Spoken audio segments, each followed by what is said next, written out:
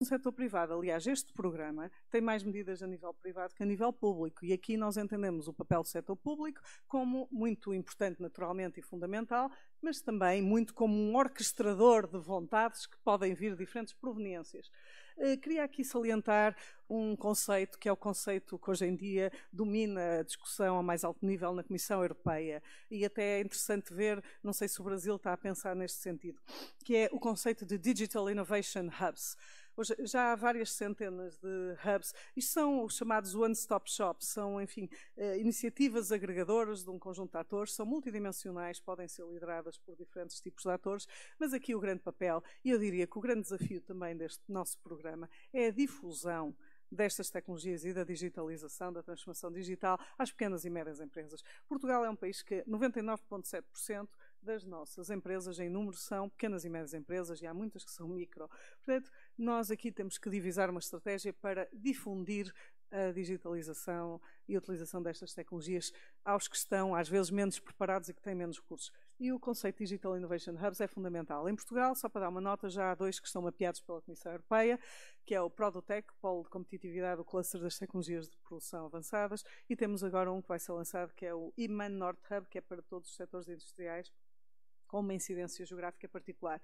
Mas temos um da agricultura de precisão, que vai ser lançado, temos dois na área da Internet of Things, eh, vários, eh, alguns são, muitos deles são de iniciativa privada. Temos espaços de experimentação ligados a empresas como a Siemens. Isto para dizer o quê? No fim de 2018, queremos ter 10 Digital Innovation Hubs reconhecidos pela União Europeia e à medida que o ritmo está a acontecer, podem ser ainda mais, mas 10 é uma boa métrica para nós.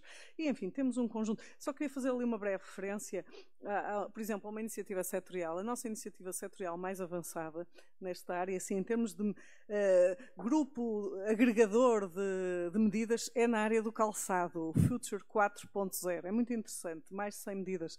Eh, mas, enfim, temos um conjunto. A ideia é termos espaços de difusão, espaços de partilha, e de uh, difusão de, de, conhecimento, mas também espaços muito práticos de teste, de prototipagem, enfim, desde a avaliação, a autoavaliação das empresas até à criação destes uh, sofisticados Digital Innovation Hubs, passando pela desburocratização, entre outros. Não posso alongar muito, mas queria-vos só também dar nota no âmbito das startups, vou falar um pouco mais de empreendedorismo a seguir, mas também temos um conjunto de medidas que ligam as startups à indústria 4.0. Desde logo, por exemplo, temos uma medida que já foi executada, que é a aceleradora, incubadora e centro de prototipagem para a indústria 4.0, ligado ao nosso centro de excelência para a indústria automóvel e aeronáutica, que é a entidade que faz a maior parte dos serviços de engenharia para a nova aeronave da Embraer.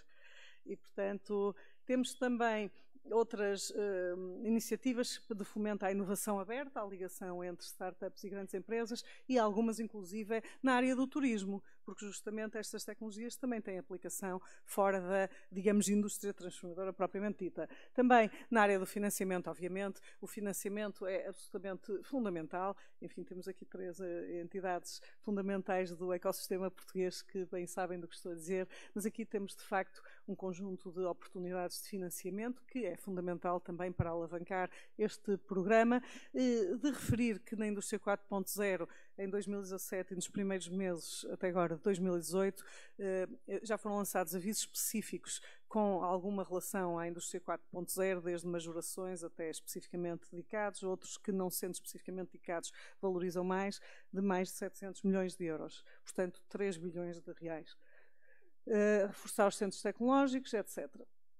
Pois na internacionalização fundamental, hoje em dia já ninguém pode viver, enfim, olhando para o seu umbigo e mormente num país como Portugal. E aqui temos muitas medidas na área das showcases, das principais feiras. Por exemplo, tivemos uma intervenção extremamente produtiva e qualificada na maior feira industrial, na Hannover Messe, Uh, estivemos com. Uh, nós temos um mecanismo de governance interessante, só para fazer uma breve referência também. Nós, uh, enfim, trabalhamos naturalmente com as entidades públicas e temos uma entidade privada que se chama Cotec Portugal, de promoção da inovação, que também nos ajuda.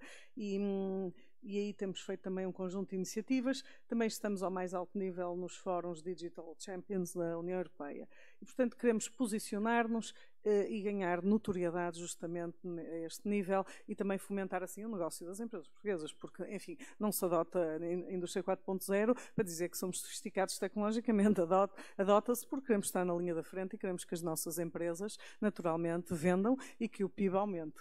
Uh, Outro assunto que é fundamental e que também se cruza com a política de startups. Nós temos algumas ideias em áreas de, também para implementar e estamos a implementar em áreas de fronteira. Há um conceito que é o de zonas livres tecnológicas, que são task forces regulatórias, espaços regulatórios ou até físicos, em alguns casos, para testes de tecnologias de última geração. Temos já uma iniciativa consagrada na área dos testes a veículos não autónomos e também na mobilidade vertical em drones e, e, e nós estamos com vontade agora de alastrar o conceito para a área da saúde e para a área das chamadas fintech. Uh, Adaptação, finalmente, o último eixo, adaptação legal e normativa, que também não é uh, nada irrelevante. Uh, e aqui é assim, eu apercebi-me, as primeiras reuniões que eu fui com a Comissão Europeia, eu apercebi-me logo, quem manda nos estándares manda no negócio.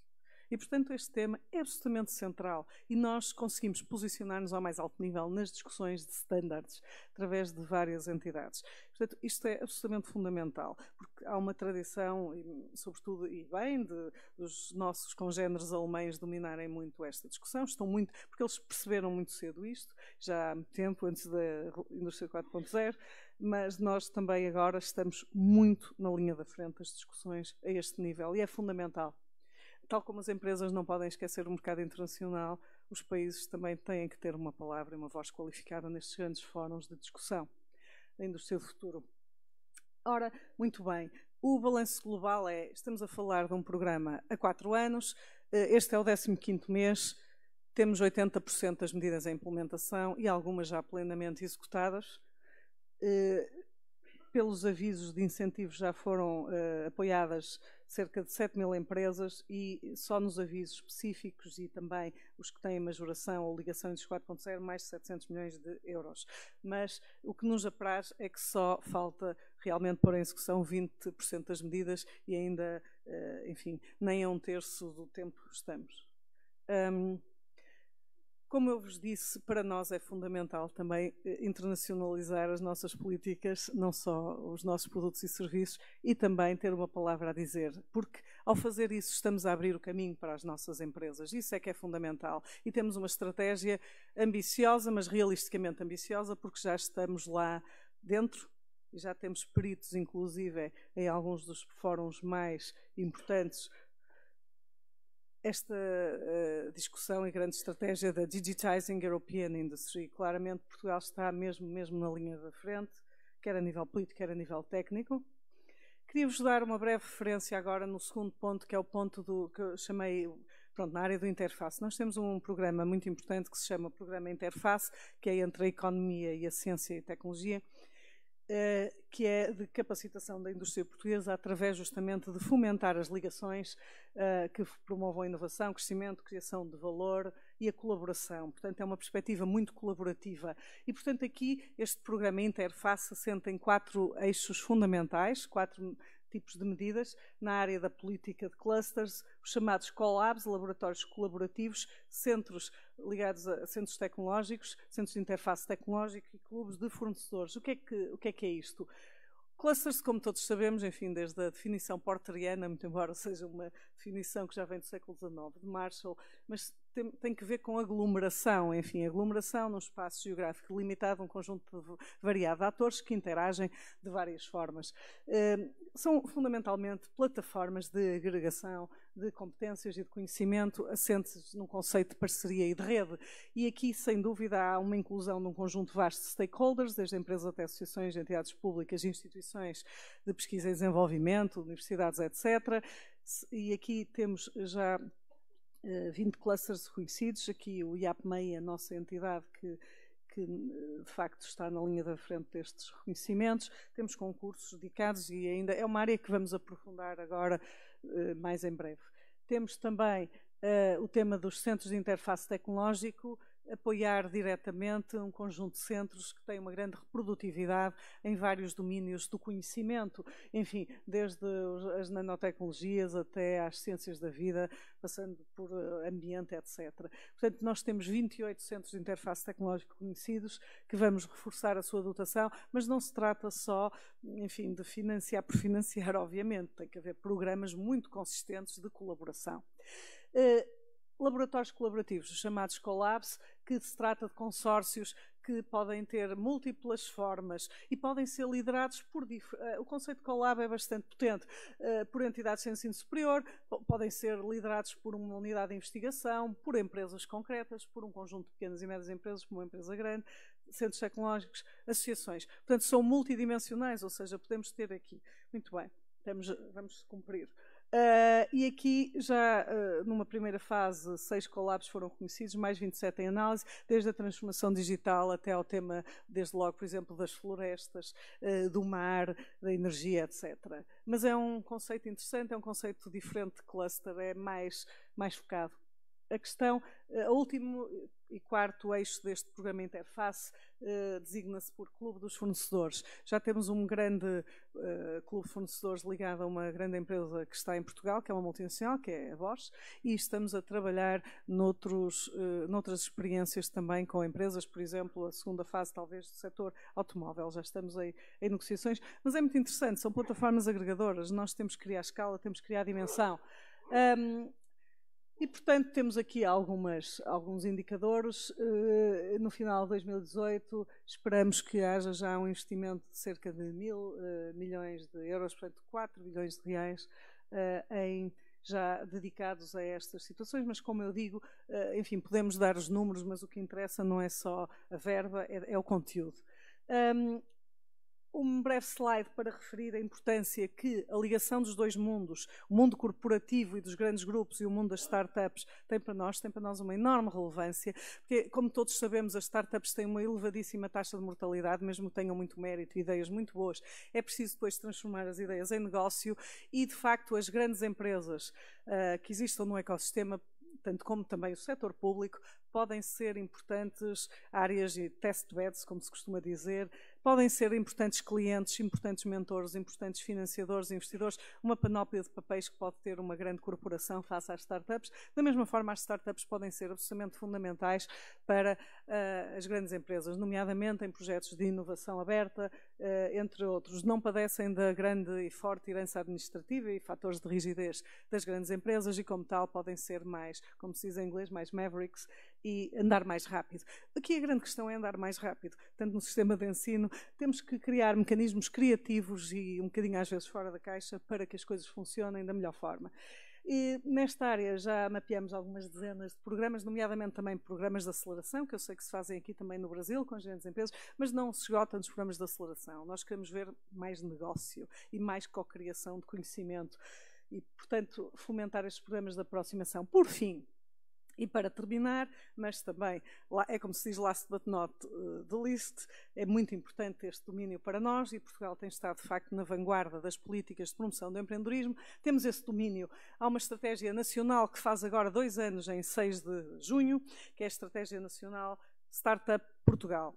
Estratégia governamental, assim designada é uma estratégia, tal como a Indústria 4.0, pensada, enfim, no horizonte que nos compete, uma legislatura, quatro anos, consiste em 15 medidas que eu vou brevemente referir já de seguida, de fomento do ecossistema empreendedor, tendo em atenção os seguintes grandes eixos. Fomentar o ecossistema, fomentar o financiamento e também a internacionalização e o chamado scaling up. Nós, em particular, nesta fase, estamos muito focados na questão do, da escalabilidade nós precisamos de um ecossistema robusto. Precisamos de o alimentar, não é? Precisamos de ter também bons projetos. Precisamos de fazer o tal scouting junto às universidades, estar sempre, dos centros tecnológicos, estar sempre também em cima dessas ideias e dinâmicas emergentes. Mas, cada vez mais, vamos ter mais investimento também em capital de risco, que está a entrar em Portugal, grandes redes, etc. Fundos como, por exemplo, eu já vou referir um, um fundo importante que estamos a lançar, mas a questão da robustez do ecossistema é fundamental. Não pode ser uh, hype, tem que ser concreto. Negócios e fomentar esses aspectos. Portanto, estamos aqui, eu não vou entrar em detalhes, mas são as tais 15 medidas que, desde fomentar e temos criado uma rede internacional de incubadoras que já tem 135 incubadoras, Fab Labs, também estou a fazer um pelos Fab Labs, que é mais a questão da fabricação concreta, é muito interessante, e os makers. O tal conceito de zonas livres tecnológicos, que é o conceito mais longo prazo, mais visionário, e também não nos demitimos de pensar no futuro, Simplex para Startups Portugal tem uma iniciativa incrível de modernização administrativa que tem sido muito premiada internacionalmente. Também adaptamos a este tipo de, eh, de empresa. Eh, de referir também que há cerca de 10 dias lançamos uma iniciativa que é o GovTech, que, são é, desafiar as startups para darem soluções a desafios globais na área dos Objetivos de Desenvolvimento Sustentável da ONU. Portanto, o Governo também tem que dar o exemplo. Portanto, também tem que estimular o crescimento das startups.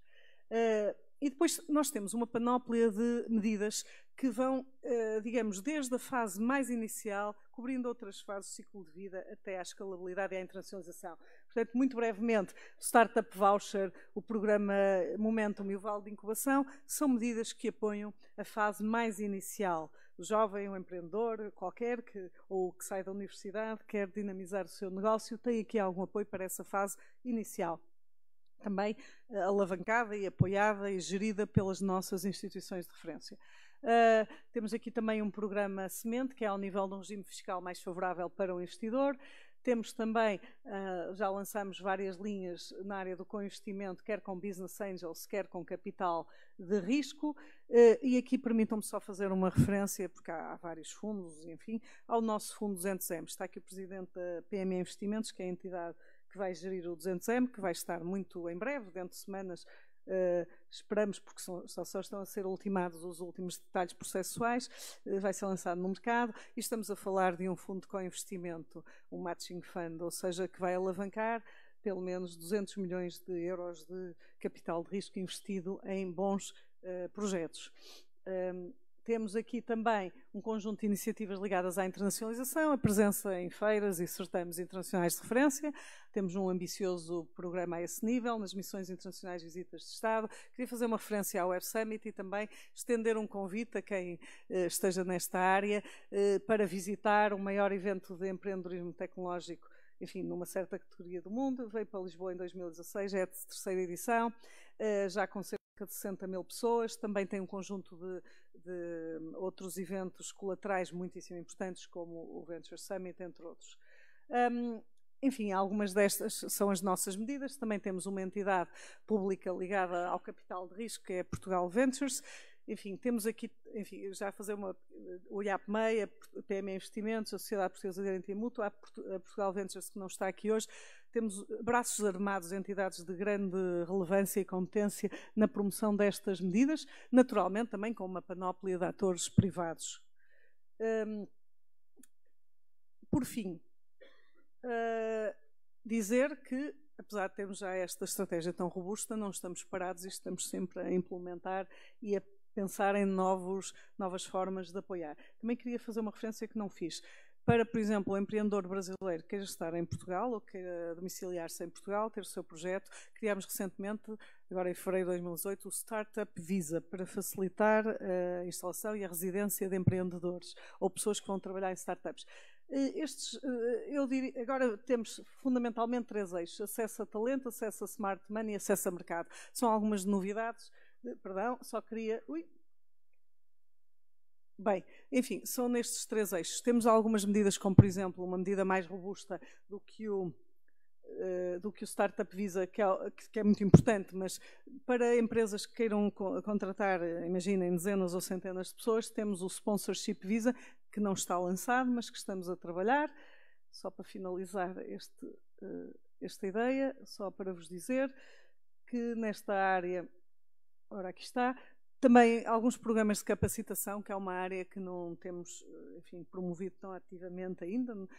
Enfim, há uma série de entidades que estão a fazer programas de capacitação, mas era importante também avançarmos mais neste eixo. Na área do Smart Money, eh, e enfim, com estas entidades estamos a, a trabalhar na concessão, também não, não temos lançado, mas a lógica do fundo de fundos, como vocês têm no BNDES, é muito interessante, eh, e noutros locais, é uma boa prática também para complementar são áreas que, que vemos como áreas de desenvolvimento no futuro próximo.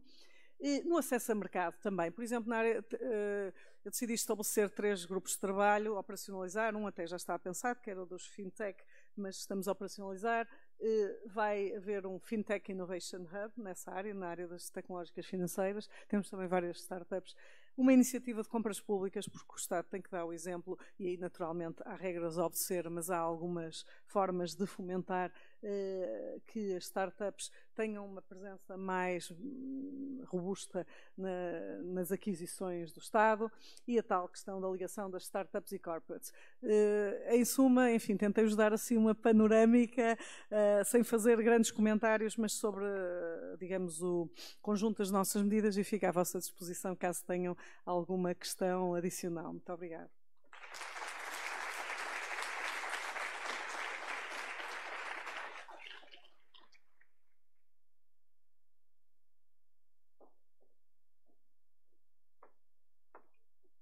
Obrigado, secretária. Muito impressionante. Professor Ziviane.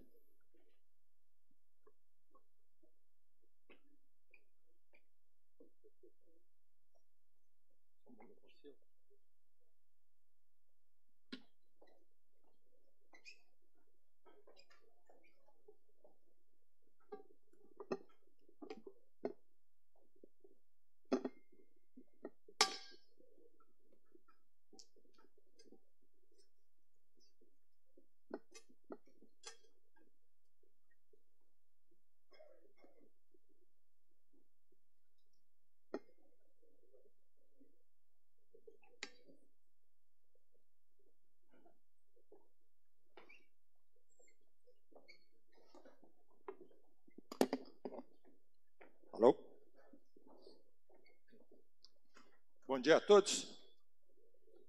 É um prazer muito grande estar aqui. Gostaria de agradecer aos organizadores, o professor Boasson de Marca, o chair da sessão, o professor Álvaro Prata, por essa oportunidade.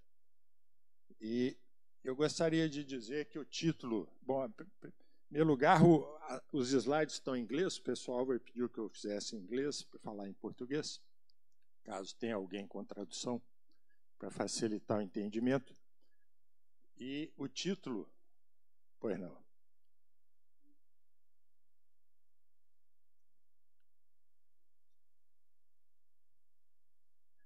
Esse é o custo de não usar PowerPoint da Microsoft. Microsoft domina o mundo, então. Pronto. Opa. É, estava bem até há pouco. Mas o, o título da sessão poderia ser o título da minha palestra. Na realidade, a ideia aqui é como mobilizar e transformar conhecimento gerado na universidade, por exemplo, em riqueza por meio da inovação. E é sobre isso que eu pretendo falar, que é bem o tema da sessão. E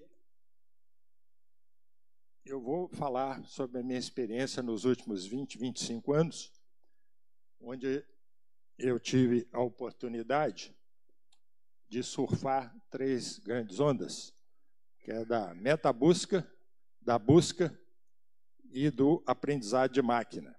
Onde? Na metabusca, o que é a metabusca? É você utilizar mecanismos de terceiros, buscar fazer a fusão do resultado e apresentar para o usuário. Isso é muito comum hoje. Airbnb, Trivago, Maxmilhas e assim por diante. Mas nos anos 90 era tecnologia de ponta. A web tinha acabado de nascer e a gente criou uma família de buscadores chamado Miner. Alguém conheceu a Miner? Opa, ainda tem gente. e a ideia era uma família de buscadores, por exemplo, tinha o Bookminer para buscar livros em livrarias virtuais, fazia a fusão de várias livrarias, apresentava para o usuário, era um broker de comércio eletrônico. E era uma família grande. Para música, CD Miner, médicos, advogados, jury miner e, e assim por diante. E o, o, o, que, o que é importante por trás disso? Primeiro, foi uma das primeiras empresas que nasceram de um departamento universitário no Brasil. E ela durou 14 meses. A gente criou a empresa em abril de 1998, foi uma dissertação de mestrado de um aluno. Foi adquirida pela UOL, Folha de São Paulo, UOL, em junho de 99. O que é gerar riqueza nesse sentido? O UOL é lotado de mineiro. O aluno fez um arrastão no laboratório. Ele ficou 10 anos como diretor de tecnologia. O diretor de tecnologia atual fez mestrado comigo quem está por trás do PagSeguro, alguém talvez vocês conheçam, fez mestrado comigo. Então, é gerar emprego, emprego nobre para mestres, doutores. Certo? Depois eu tive a oportunidade de surfar a onda da busca nos anos 90. A gente, no mesmo ano de 1999, a gente criou uma tecnologia chamada TODBR e a gente dominou a busca no Brasil. A gente era powered by Aquan, o radar UOL, do UOL, farejador do IG, o AI, Estado de Minas. Praticamente todo mundo usava o nosso mecanismo de busca na época. E a gente criou a empresa a Aquan em 2000, março, e a gente entrou no radar do Google. O Google tinha, Google tinha acabado de fazer a IPO em 2004, no final de 2004, com o objetivo de vir para a América Latina entrou em contato conosco, adquiriu a Aquan, contratou todos os engenheiros e criou um centro de pesquisa e desenvolvimento para a América Latina em Belo Horizonte e criou o comercial em São Paulo. O centro de Belo Horizonte é muito importante. Cuida da busca, é um fora dos Estados Unidos, acho que é, não sei se tem outro. O líder de busca lá, onde 25% das melhorias nos últimos anos foi feito lá. Tem um aluno de doutorado nosso lá liderando isso e assim por diante. Então, de novo, muito emprego para mestres doutores. Em 2010, criamos a NEMU, busca ainda, mas com foco no e-commerce. Foi criado com um grupo de Manaus, dois professores de Manaus, que eram alunos nossos, doutoraram conosco, ajudaram a criar a Aquan, e a gente criou NEMU com quatro alunos lá de Manaus. Manaus é um centro de empreendedorismo hoje, impressionante. Pegaram o vírus, eu criei a pós-graduação em Manaus, num curso interdisciplinar, lá em, nos anos 2000. E eles voltaram para lá e aí hoje Manaus cria muita empresa. A Nemu chegou a deter 30% do e-commerce em 2015 e foi adquirido pela Lynx, que é a maior do varejo no Brasil. E, finalmente, é a terceira onda. Essa é uma onda muito, muito grande. Está mais para tsunami que é do aprendizado de máquina. Certo? E a gente então criou a Conume. A Conume tem dois anos. E a ideia, a gente não tem muita modéstia, a gente pretende mudar a sociedade por meio da inteligência artificial, ajudar essa transformação que já está ocorrendo. E a gente faz a ponte entre negócios e o aprendizado de máquina. E atua em vários segmentos: arte, finança, fintech, banco tradicional, saúde, seguradoras. Eu vou dar exemplo de arte e dois de saúde, que a gente está muito forte. O que, que é o aprendizado de máquina? É dar aos computadores a capacidade de aprenderem sem serem explicitamente programados. Foi cunhado nos anos 50, mas foi uma frustração nos anos 60, 70, 80, 90, 2000, e 2006, 2007 para cá, a partir de resultados muito fortes no Canadá, professor Hinton, da Universidade de Toronto, está ocorrendo todo esse tsunami que vocês já perceberam. Uns estão sentindo mais, outros menos. E existe uma sub-área do aprendizado de máquina, que é uma sub-área da inteligência artificial, são as redes neurais artificiais que é o que tem produzido os maiores resultados atualmente, que eu vou falar rapidamente sobre. As redes neurais artificiais, elas são baseadas na representação dos dados. E essa representação ocorre de forma vetorial. É sempre um vetor de números reais entre 0 e 1. Um. Isso é interessante porque dá oportunidade de se produzir uma tecnologia onde você tira produtos rapidamente, que é agnóstica a segmentos. Por isso que eu falei em artes, finanças, etc. Existe um aspecto filosófico muito importante, porque que é o que está por trás de toda essa transformação. Nós estamos acostumados, desde os anos 40, com John von Neumann, é, com Alan Turing, a programar por meio de asserções com prova matemática. Eu fiz no meu doutorado um curso que provava correção de programas. Dado a entrada de dados, se aplica uma transformação, a saída é previsível. Isso mudou. Nós estamos saindo de uma ciência matemática, baseada em lógica, para uma ciência natural, onde você enxerga, olha para o mundo incerto, faz experimentos, aplica estatística, não lógica, para avaliar os experimentos. Essa é uma mudança importante para ser entendida, o que está ocorrendo. A resolução de problemas usando o aprendizado de máquina tem, então, dois grandes passos. Um tem a ver com a representação dos dados, como eu já mencionei, e, mas essa representação consegue lidar por um número absurdo de dimensões. Nós, humanos, conseguimos lidar bem com três dimensões, concorda? Piloto de avião talvez consiga, tem que verificar o problema de subir descer, ele pode ser um pouco diferente da gente, mas não passa disso. O aprendizado de máquina lida com muito conforto, igualmente, com milhares de dimensões ou com duas ou três dimensões. Então, a redução dessa dimensionalidade é que está permitindo provocar toda essa revolução que a gente está vivendo.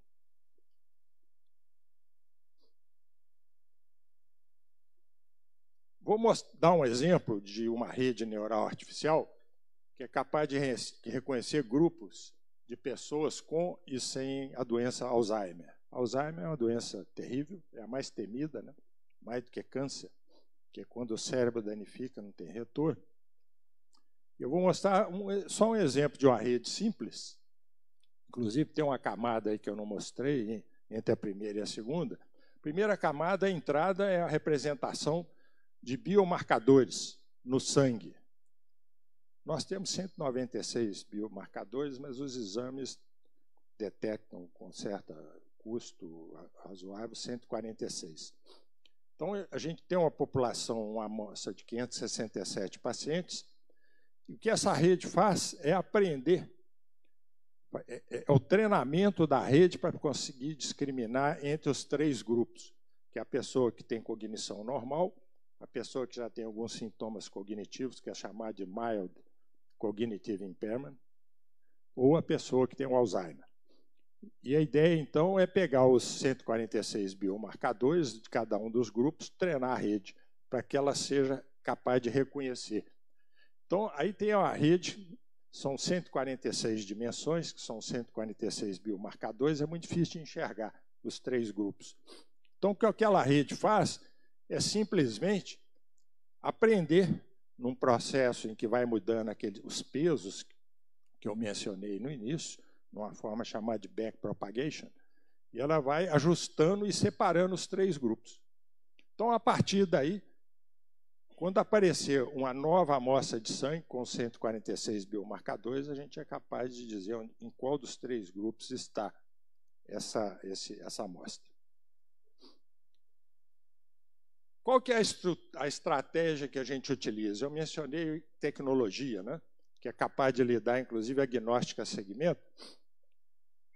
Primeiro passo é a capacidade que a tecnologia permite redução no tempo de programação. Vou dar um exemplo. Vamos pegar um corretor ortográfico. Eu trabalhei com corretor ortográfico no meu doutorado, nos anos, depois nos anos 90, o spelling checker. Né? E era é um trabalho muito grande, você tem que conhecer características de cada linguagem. Eu usei, por exemplo, corretor ortográfico para o inglês, no português não funcionava bem.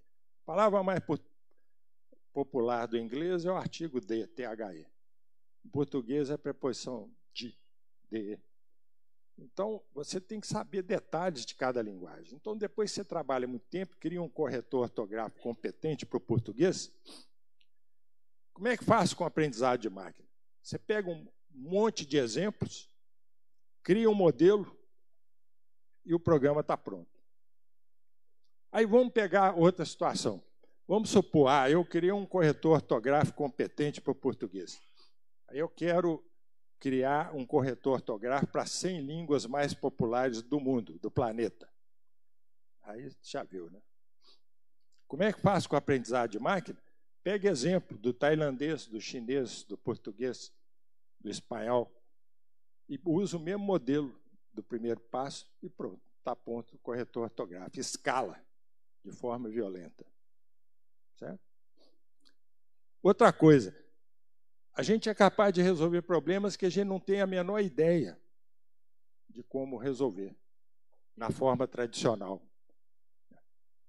Eu olho o professor Boasson de Marca, ele parece satisfeito com o andamento das coisas aqui, né, durante todo o evento. Ele está balançando a cabeça, eu consigo ler isso tudo. Vai escrever um programa na forma tradicional para capturar isso tudo. Aprendizado de máquina, você dá exemplos, ele é capaz de fazer isso. Okay? Agora eu vou pegar três exemplos é, que a gente tem lá na Cunume.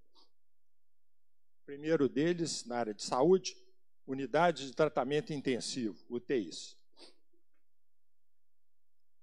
A gente pegou uma base de dados que é a Fisionet, 724 pacientes, é longitudinal, a gente tem 48 horas, primeiras 48 horas de um paciente dentro da UTI.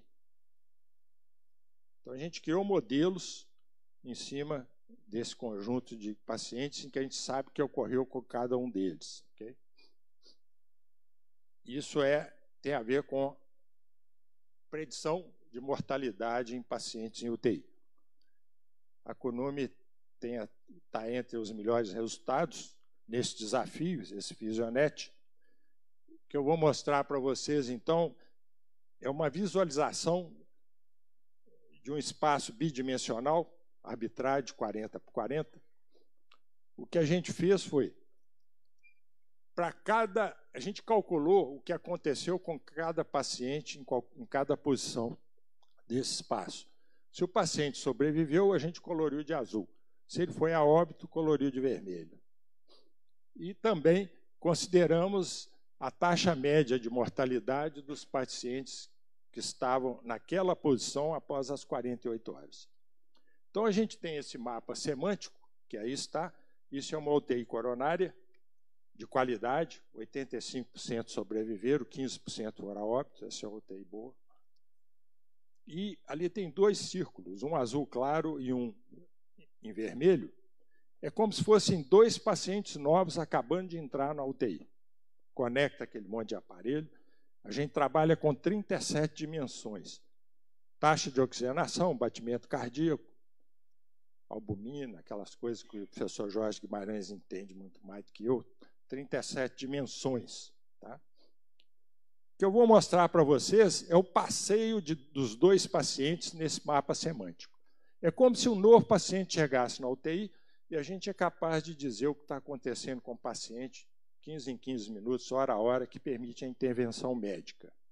Então, o que ocorre é isso. Vocês reparem que o paciente em azul claro, ele vai para uma situação crítica. E houve certamente uma interferência médica, o que seja, e ele se salva. E o paciente em vermelho é aquela situação que, às vezes, infelizmente, a gente observa, quando ele entra numa situação crítica, ele falece rapidamente. Então, a gente, isso aí é gestão da saúde, ao invés de gestão da doença. O, o SUS, nosso sistema brasileiro, gasta mais de 90% na gestão da doença, não trata a saúde, que né, com as diversas consequências que todo mundo sabe. Okay?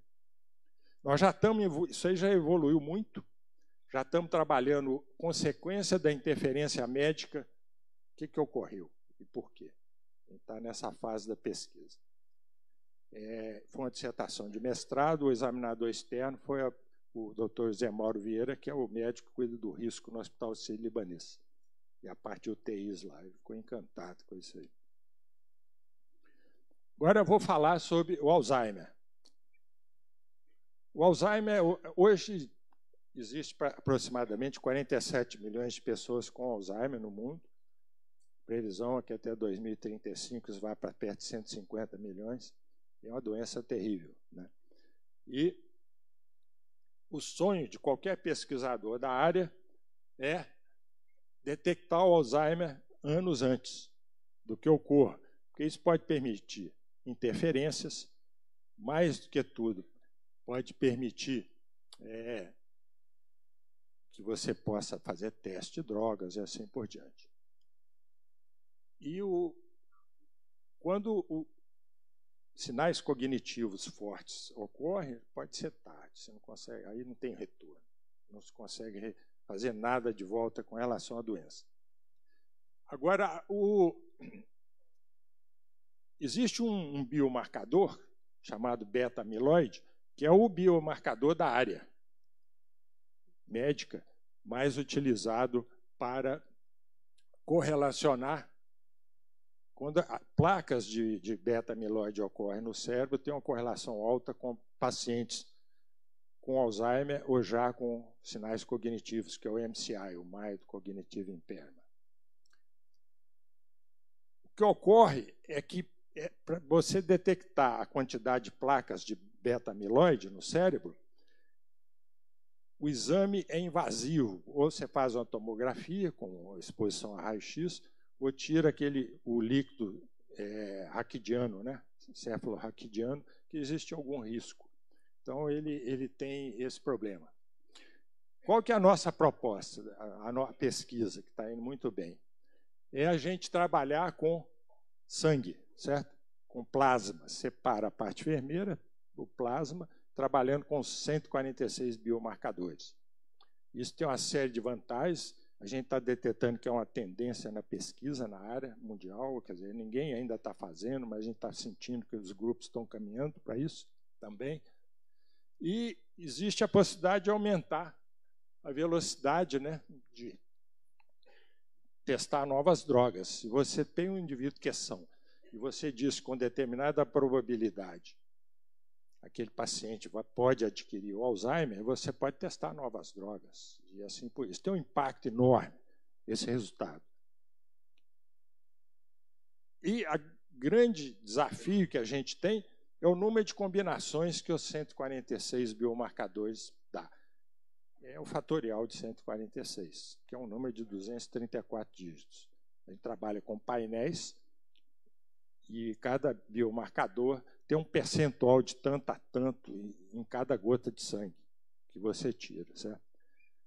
Então, de novo, eu vou mostrar para vocês um mapa semântico para o Alzheimer. Essa amostra de 567 é, pacientes é extremamente preciosa, uma das poucas no mundo, porque é um estudo longitudinal de 10 anos.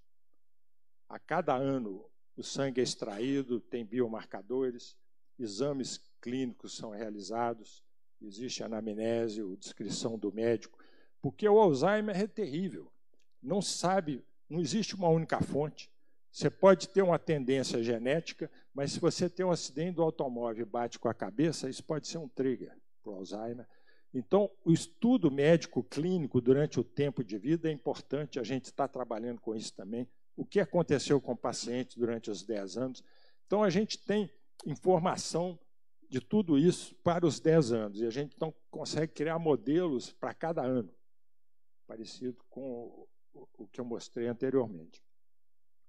Esse mapa semântico, então, é no momento zero dos 567, os pacientes que não têm Alzheimer, considerados cognitivos normais, né, são, estão em azul. Os pacientes com sintomas cognitivos estão em amarelo e verde e pacientes com Alzheimer dessa população estão em vermelho. A gente pegou um paciente que está ali representado por um quadrado, que não participou da criação desse mapa semântico.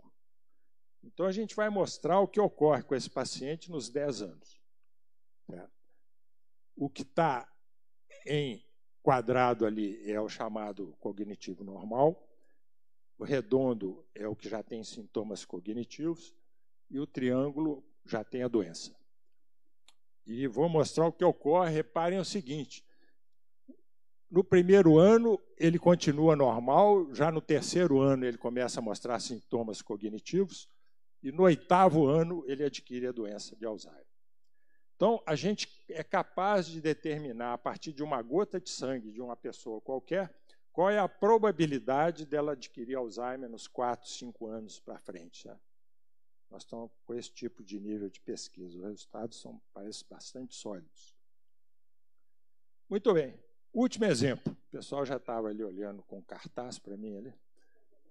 O último exemplo é na área de arte, para mostrar que realmente a tecnologia permite você trabalhar agnóstica a segmento. Esse projeto foi um projeto com Spotify. Spotify abriu uma concorrência, porque o rap, um estilo de música, quem conhece o rap?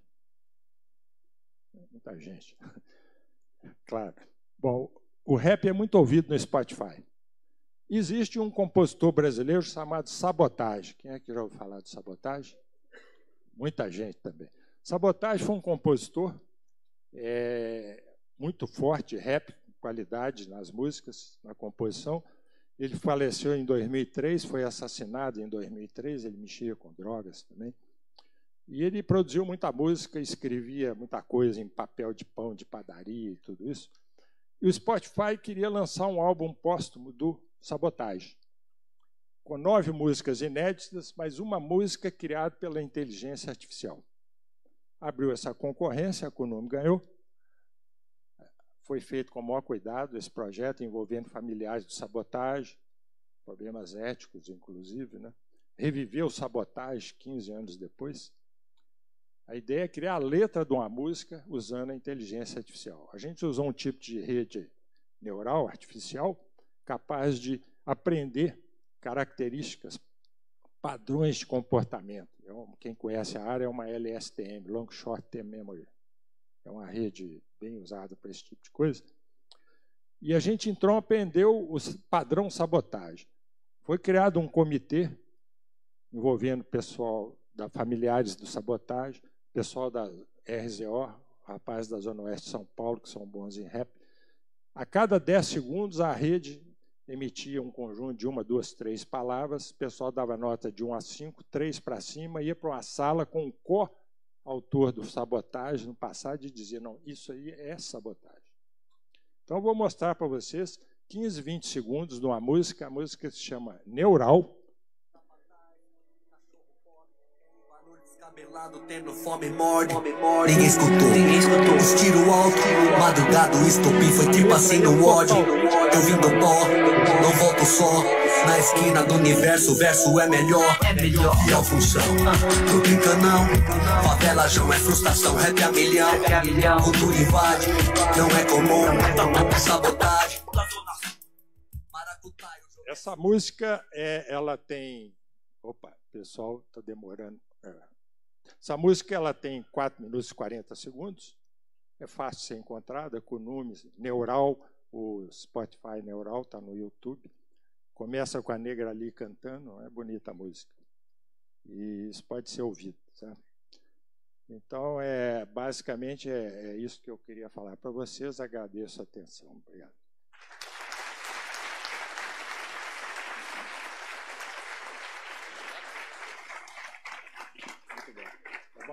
Mandou bem.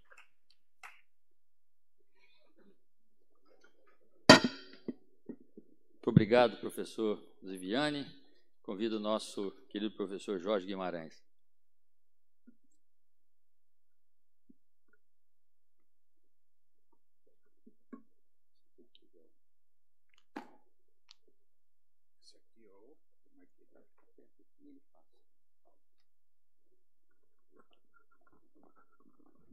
Bom dia a todos. Queria primeiramente agradecer à academia pelo convite, especialmente o Boasson, que insistiu que a gente pudesse vir aqui participar, trazendo alguma informação sobre a Embrapi, e o nosso coordenador Prata, que eh, organizou esse painel. Bom, eu vou falar sobre o título que me deram, estava em português, eu converti para o inglês, né? A inovação na indústria no Brasil, o papel da Embrapi. Eu devo começar dizendo que o Brasil tem cerca de 200 mil empresas industriais. Isso aí não estão contando empresas de serviços e outro tipo de, de industriais. Com o nome, com a palavra industrial, claramente é algo que mesmo as muito pequenas têm uma estrutura que não é uma simples padaria, digamos assim. Né? E a grande maioria, mas é grande maioria, 90 e muitos por cento, não tem centro de pesquisa. Portanto, não tendo centro de pesquisa, não contrata pessoal mais qualificado, como o nível acabou, o acabou de nos mostrar, gerar emprego, gerar uh, imposto, gerar desenvolvimento, e reter gente, né, que esse é outro ponto importante nesse estágio da vida brasileira, reter nossos jovens competentes, porque senão eles vão embora do Brasil.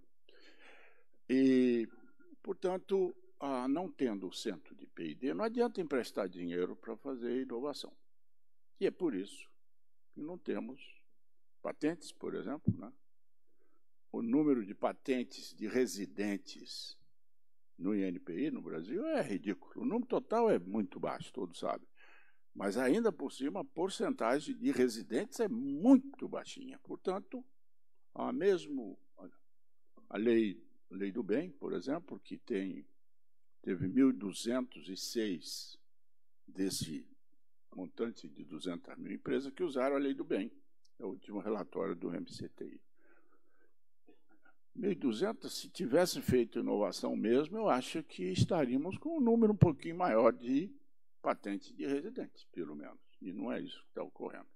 Ou seja, o conceito de inovação no Brasil ele está muito mal aplicado do ponto de vista de tudo que vimos aqui ontem e hoje. E é nesse contexto que a Embrapi foi concebida e criada, e, enfim, que está operando. A, a ideia é saber se temos condições de criar né, um, um meio para a gente avançar na inovação. E a pergunta é essa: o Brasil está preparado para a inovação? Essa pergunta foi feita no estudo que a Mariana Mazzucato nos mostrou ontem. Rapidamente, um estudo que foi feito por ela e pelo Caetano para o CGE, se eu não me engano, em 2007, 2008. E a conclusão é que sim, está preparado sim, por tudo que ela também mostrou ontem aqui, com todas as características da, da maneira como ela vê a questão da inovação. Então, vamos lá. Quais são essas né, características que implicam a gente entender que estamos em 13º em ciência e em 69º em inovação? Não tendo centro de P&D, não contrata gente. Não contrata tanto gente, não tem pesquisa aplicada. E não tendo pesquisa aplicada, não tem inovação. Consequentemente, não tem patente. Consequentemente, não precisa pôr dinheiro da indústria para isso. E é isso que tem ocorrido. Né? Pois bem, então nós temos esse, esse quadro, né? a produção científica né? versus a questão do desenvolvimento tecnológico. Né? O Prata acabou de mostrar aqui que ciências estão bem e devemos continuar bem. Não há nenhuma incompatibilidade nessas coisas, como, aliás, eu vou também mostrar aqui a falta dos centros de pesquisa na indústria, né? Consequentemente, o baixo investimento da indústria, a inovação no nível muito baixo, e talvez precisasse um modelo diferente do que tem sido feito na inovação no Brasil, no, no estímulo à inovação pelos, pelas agências que existem, que vêm fazendo isso há muitos anos. E, interessantemente, foi o papel de CNPq, FINEP, BNDES, as FAPs, que deram um substrato importante para que a Embrapi pudesse trabalhar no modelo que vou explicar daqui a pouco. E há essa grande expectativa de chegar em 2% do PIB né, em pesquisa e desenvolvimento no Brasil.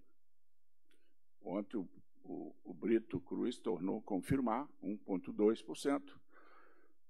com dados, acho que já de uns dois anos atrás, é possível que tenha diminuído isso. Mas ocorre que esse 1,2%, 60% é público, 40% privado. Ou seja, na contramão dos países que fazem muita patente, fazem muita pesquisa, são os que mais produzem ciência também, mas têm mais de 70% dos recursos para pesquisa e desenvolvimento do setor privado. Não é o nosso caso.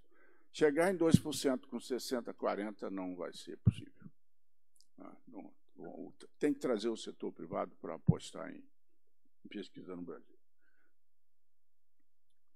Ah, qual é o nosso, como é que é o nosso sistema? Nós temos um conjunto de, eh, de grupos de pesquisa que são selecionados nas universidades, nos institutos, nos centros de pesquisa, e que chamamos de unidades Embrapi, e que tem, portanto, constitui uma rede né, desses, dessas organizações.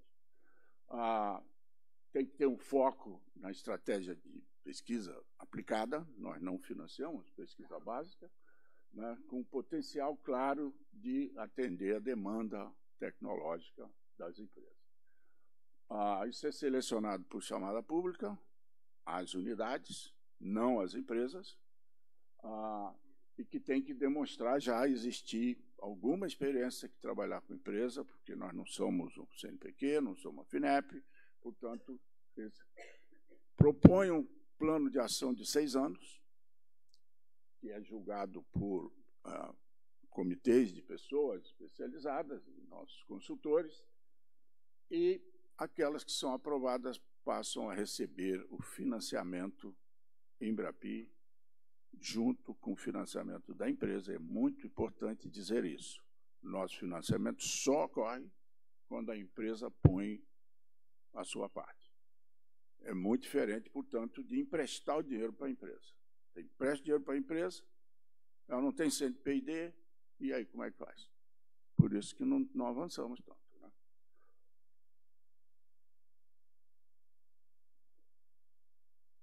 Então, a nossa função dá suporte ao desenvolvimento da inovação nas empresas. E é muito importante que seja isso.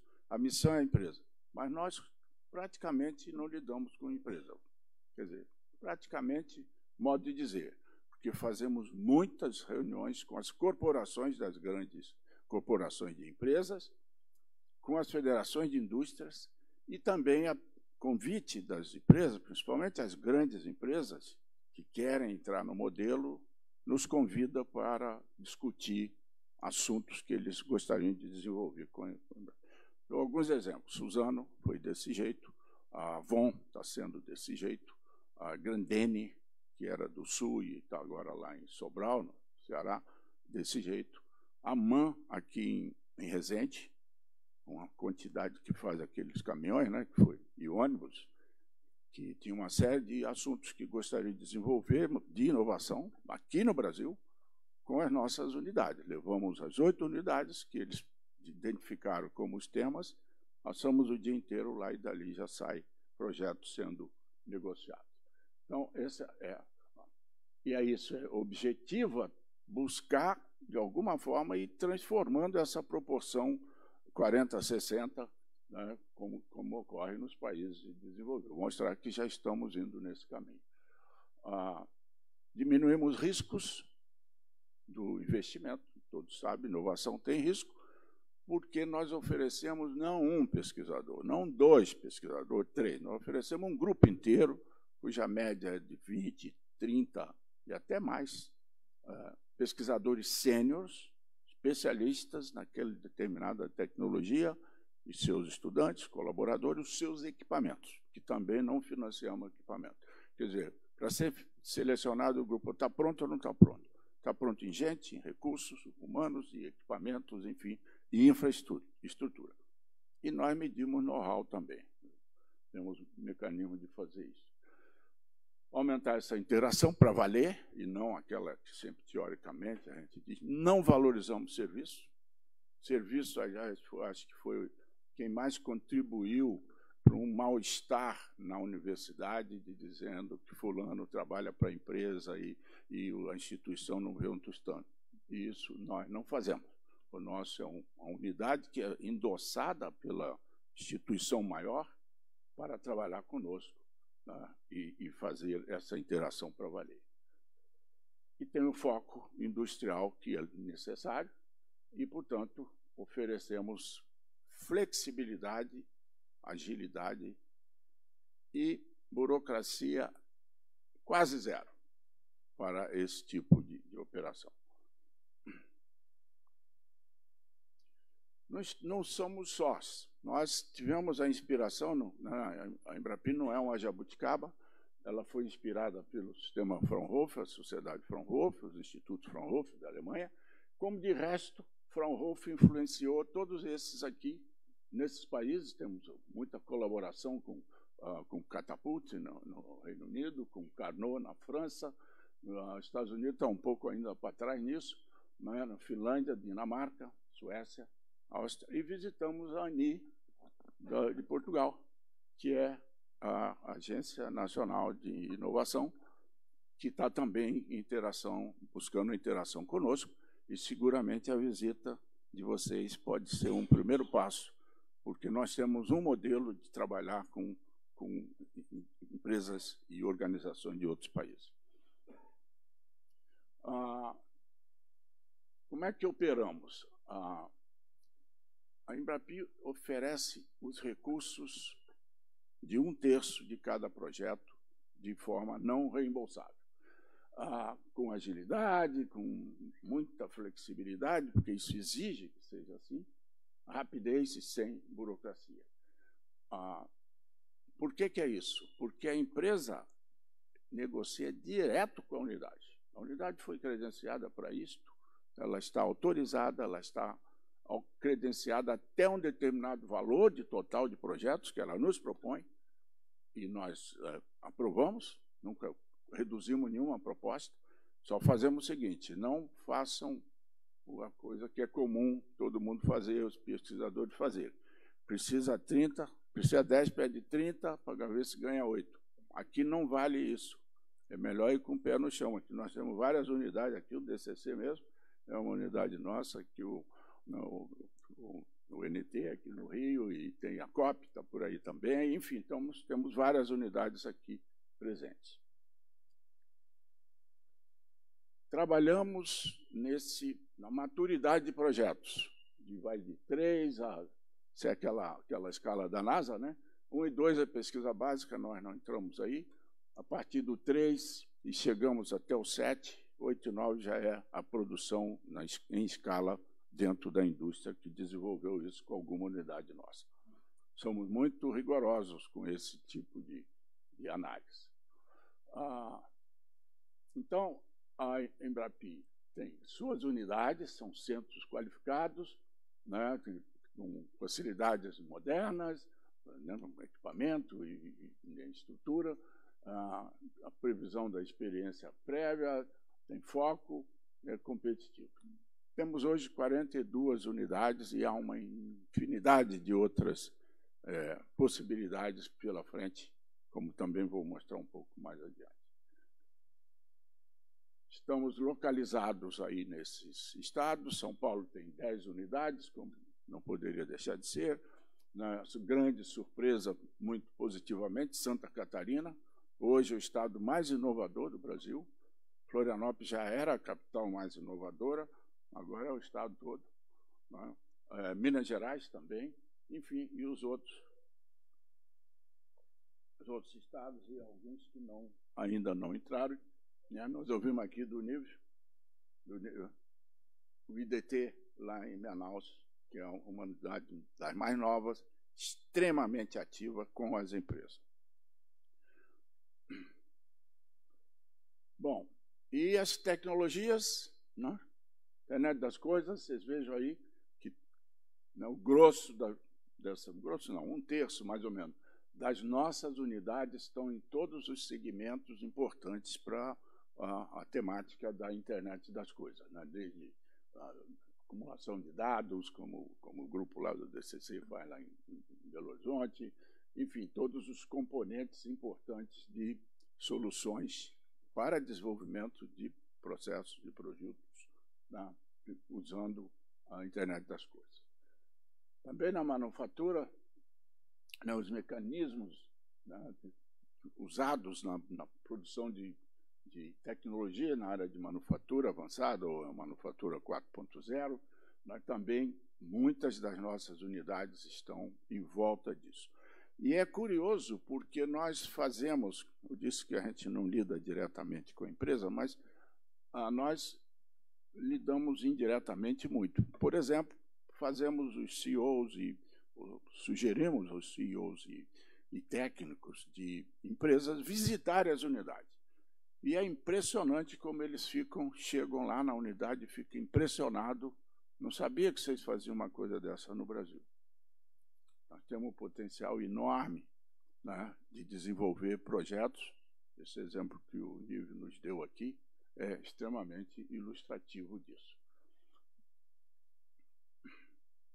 Na área de saúde, também um conjunto enorme de, de, de projetos estão sendo desenvolvidos, ainda sem incluir o principal componente, que é a indústria farmacêutica. Mas isso já começou a ocorrer e né, nós temos aqui o CNPEM, que é uma das nossas unidades nesse segmento, também uma unidade em Brapi, né, equipamentos médicos, e eu vou dar alguns exemplos no final, que também várias unidades estão prontas. A indústria farmacêutica é um trabalho recente que estamos fazendo, de convencê-los de que não basta o BNDES financiar 10 empresas durante 10 anos e o número de inovações ser bastante insignificante, porque tem que mudar o modelo. O modelo é trabalhar com, a unidade Embrapi, ao invés de buscar um pesquisador sozinho, etc., que é o que muito frequentemente é feito.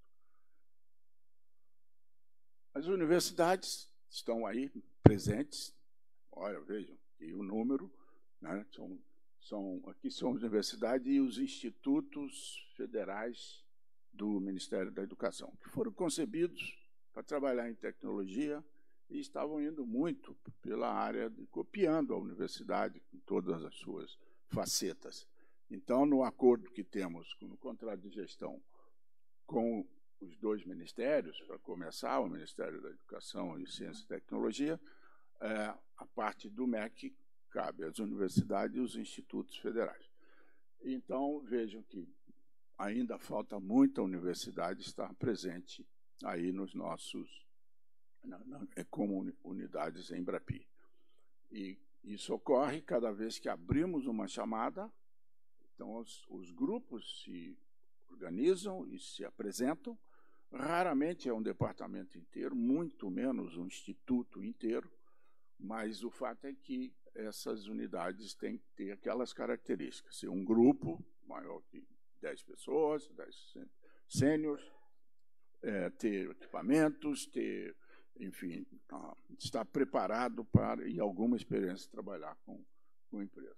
Alguns desses institutos federais é, são surpreendentemente é, positivos, mas todos passam por um treinamento, porque eles não estão acostumados com a necessidade de prospectar, como a gente exige das outras unidades, não estão acostumados a discutir propriedade intelectual, que é um dos componentes importantes na, na maneira como somos cobrados pelo contrato de gestão, mas, enfim, então eles passam por um treinamento, são nove desses institutos, eles são trinta e poucos, provavelmente outros vão entrando.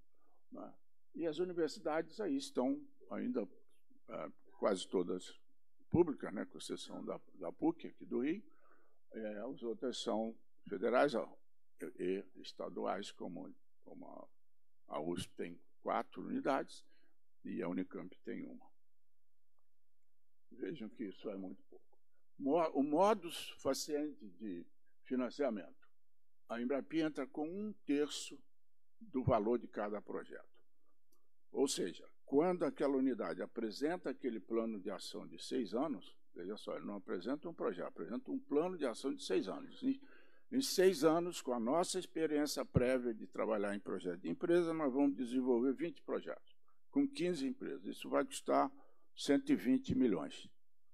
40 milhões serão da Embrapi não reembolsáveis.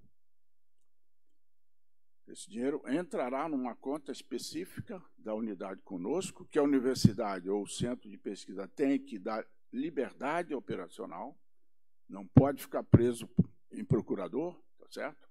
Algumas universidades sofrem muito com isso, porque alguns procuradores eles, eles acham e agem como se eles fossem mais do que o reitor. Né? Então, esse é um ponto bastante crítico na relação com alguns tipos de, dessas unidades. Curiosamente, os institutos federais têm se saído melhor nessa autonomia de funcional que a própria universidade lhes fornece. Usamos o que é o óbvio, preferimos que eles deem autonomia para trabalhar só com a fundação da universidade. Isto posto, nós tá, estamos mais bem servidos, porque muitas vezes um projeto não anda porque o procurador não deixa. Por exemplo, algumas vantagens do modelo ah, Embrapi. O Prata estava mencionando o marco legal, etc., que é uma aspiração, que ainda não está ainda em uso. A Embrapi pratica tudo do marco legal há quatro anos. Tá bem, vou chegarei lá. Pois bem, então entramos com um terço do não reembolsável, nesse montante que foi aprovado para aquela unidade. Lembrando que nunca deixamos de aprovar ou desaprovar uma unidade porque fez um pedido exorbitante de, de valor do que eles podem fazer. Porque não pode ser assim, porque nós seremos cobrados, nós somos cobrados duas vezes por ano por uma comissão de acompanhamento do contrato de gestão. Os outros dois terços são divididos da seguinte forma: até um terço também é da unidade, só que não é financeiro. Esse é econômico, ou seja, salário, máquina, equipamento, horas homem, etc., know-how, infraestrutura. Essa é contrapartida e nós medimos tudo isso e compete um terço. Veja que é curioso que nós estamos aí há 70 anos né, fazendo investimento pesado em formação de recursos humanos, né, pelas agências todas, federais, estaduais, e capacitou muita gente, e muitos grupos. É impressionante chegar em alguns lugares que nós estamos vendo, como a gente faz as comparações com o exterior, unidades tão bem qualificadas, né, de, do ponto de vista de, de, de, infraestrutura, como a gente vê no, no, nos países mais desenvolvidos. E o outro, a outra parte dos dois terços é, no mínimo, um terço da indústria. Então, esse é o nosso modelo. Quer dizer, nós multiplicamos o nosso dinheiro por três. E isso faz uma grande diferença. Uma vez criada, a unidade negocia direto com as empresas, faz prospecção. Na medida que a Embrapi foi ficando conhecida, tem muito mais a unidade já as empresas procurando as unidades diretamente, faz projeto tal. Nós não participamos disso, nem na propriedade intelectual, que é uma obrigação também. Mas assim que o contrato for assinado, nós queremos uma cópia e cobramos mensalmente. E muita gente pode dizer, bom, mas então vocês devem ser muito grandes. Nós somos 24 pessoas na Embrapi. Trabalhamos naturalmente com muitos consultores. E muito dinheiro, será? É muito dinheiro da Embrapi? É menos de 1% do orçamento do MCTI. É 0,003% do orçamento do MEC. E como agora está entrando no Ministério da Saúde, 0,00 não sei quanto. Ou seja, é muito pouco dinheiro que a gente vem trabalhando com isso. E um dos nossos desafios é convencer o governo que inovação é importante e que precisa aumentar esse recurso. E se aumentar, nós temos fôlego para fazer muito mais do que está sendo feito.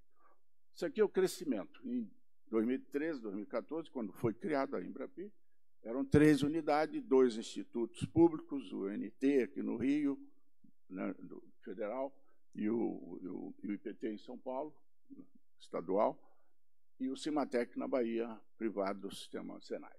Então, esse é o crescimento. Hoje são 42 unidades, 17 são institutos privados sem fim lucrativo.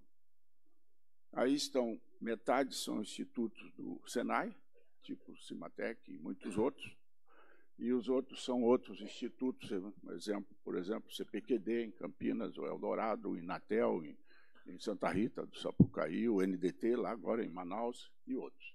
São 11 em universidades, sendo de oito universidades, nove dos institutos federais e cinco em institutos, unidades em institutos, institutos públicos. Né?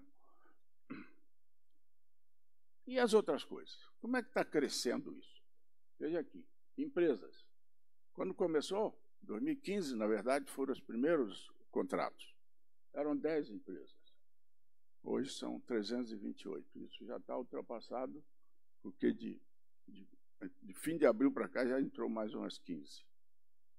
De 10 empresas para 328 de nove projetos para 461 projetos. E esses aí, 90 foram terminados já, 91 patentes das empresas, porque é outra coisa que nós exigimos muito, que patente do setor acadêmico geralmente não, não, não é licenciada. Aqui as patentes são da propriedade da, da empresa. E em dinheiro, saímos ali de 10 milhões para 728, passaremos de 1 bilhão até o final do ano. Isso aí é o conjunto né, dos três componentes que a nossa parte, a parte da unidade e a parte da empresa. Como vem crescendo isso? Aqui, essas curvas mostram que as empresas que não tem centro de P&D no Brasil, estão apostando no sistema porque estão, apesar da crise, o grosso disso cresceu em 2016 e 2017, dois anos de maior crise que se conhece no Brasil, porque sabem que crise é sinônimo de oportunidade, como já nos ensinos chineses há muitos anos. E as empresas 300 e 28. Como é que está sendo distribuído isso? Um terço, como eu disse, é Embrapi, cada projeto. Ah, cerca de 19, 20% é a média das unidades, como eu disse, não é financeiro, é econômico e tal. E 48, 47, 48% das empresas. Bom negócio. Ao invés de 100%, 48% sem com muito menor risco do que eles procurarem uma pessoa, um bom pesquisador, que felizmente temos muito, mas que não tem uma infraestrutura montada como, como, como a Ibrapi exige. E mais ainda, aqueles, aqueles 48%, a empresa pode pegar emprestado na FINEP, no BNDES, vários outros bancos que já temos parcerias, e, portanto, com vantagens oferecidas de fast track para o julgamento, etc. Muito bem. Ontem vocês viram o Brito Cruz mostrar aqui o, o slide de quem, como está indo aí a nossa, o financiamento à inovação. Né? Veja aí, ó. o verdinho é o, é o Funtec do BNDES. Né? O, o mais escuro ali é, é a, a FINEP, também caindo, decaindo, sendo nos quatro anos em que a Embrapi existe, certo? É, e a FAPESP. Só que ele mostrou a gente aqui embaixo, né? Só que ele não computou que nós multiplicamos por três. Então, o nosso projeto, nós só pagamos quando a empresa desembolsa o dela. É muito diferente de emprestar o dinheiro para a empresa. Ela desembolsou dela, o nosso está ali junto e, consequentemente, ah, o que tem hoje, infelizmente, é. Mas mesmo usando o dado dele, né, se dividir lá os 365, quase 350, por 3 é a nossa parte, que dá mais 110 milhões. Portanto, ainda é a Embrapia que está mais presente no financiamento da inovação industrial no Brasil. As áreas que, que são cobertas pelo, né, pelo perfil das empresas que trabalham conosco, aqui número de projetos, eu não sei onde é que esse negócio aponta, né? Desse lado aqui, no projeto do lado de lá, em, em recursos, enfim, está bem distribuído uh, os segmentos industriais que são cobertos. Muitas parcerias. parcerias institucionais. Bancos, lá em cima, BNDES, BRDE, BMDG, Minas Gerais, Nordeste, Badesc e outros estão na fila para fazer projeto para financiar o lado da empresa. Outros parceiros que financiam o lado da unidade. CNPq e CAPES, um grande, um excelente projeto conjunto para pós-doc, sobretudo, mas também outras modalidades, nas unidades, trabalhando em projeto da empresa com bolsa do CNPq e da CAPES. O Ministério da Saúde entrou porque viu a quantidade de projetos que estamos fazendo na área de saúde, equipamentos médicos e instrumental para o SUS. O Senai, parceiro, a FINEP, né, também pode, a FINEP pode atuar dos dois lados, ela pode atuar no lado da empresa e pode atuar também no lado da unidade. A Sebrae, um belo de um, de um, de um acordo né, para startups e pequenas empresas, um sucesso, com uma grande vantagem. A startup está dentro da unidade Embrapi, com muito menos, mais chance de dar certo o projeto do que se estivesse sozinha num sistema de co-work ou, ou desse outro tipo, com acesso aos pesquisadores, com acesso aos equipamentos, enfim, a toda a infraestrutura e o acesso à grande empresa que está desenvolvendo o projeto ali. Com a Fiesp, com a Protec, com Confap, com FAPES, aqui, ó, FAPES foi a primeira logo que assinou, mas tem na, de Santa Catarina, de Goiás, de, da Paraíba e tem outras. Minas está prontinho, faltando só assinarmos. Estamos discutindo com, com a FAPES aqui, quando ela resolveu os problemas que apareceram. Mas, enfim. Ah, e outros em andamento. Né? O Ministério da Saúde entrou, mas aqui, ó, o Ministério da Defesa está na, na lista. Araucária já assinamos também. Ah, Ministério de Minas e Energia, Desenvolve São Paulo, NPI, para fazer um fast track para as patentes geradas no modelo Embrapi, com as empresas. Embrapa. A Embrapa fez várias tentativas de, de, de, de ser unidade nossa, não, não conseguiu. Temos uma unidade que é chamada Embrapa Água e Energia, que é uma unidade específica e especializada nessa área de, de energia. Acho que amanhã nós vamos ouvir alguém falar aqui sobre, sobre essa unidade.